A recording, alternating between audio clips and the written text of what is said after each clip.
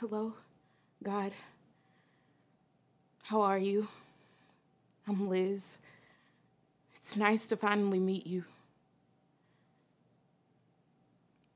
I'm sorry to bother you so late at night, but I'm in serious trouble.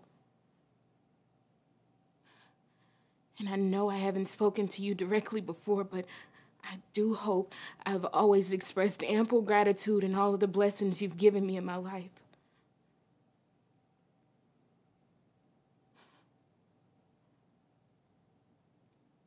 Can you please help me?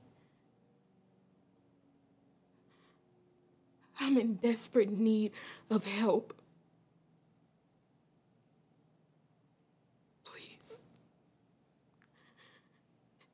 Can, can you give me an answer?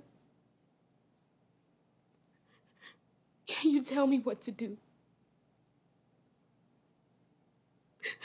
Please tell me what to do. Please tell me what